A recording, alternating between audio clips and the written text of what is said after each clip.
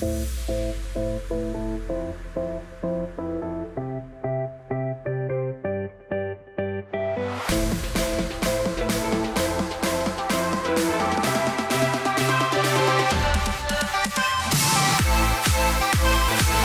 first time at iGB an iGaming affiliate conference, and I was told go to the biggest, go to the best. So that's why I'm here. iGB is a really good place to be because of, of the networking.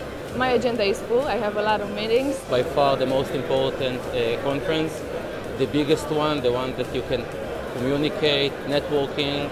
I think the good thing about this specific conference is to come more open-minded, to see the new trends, the new stuff in the industry. People invest a lot in this specific uh, conference.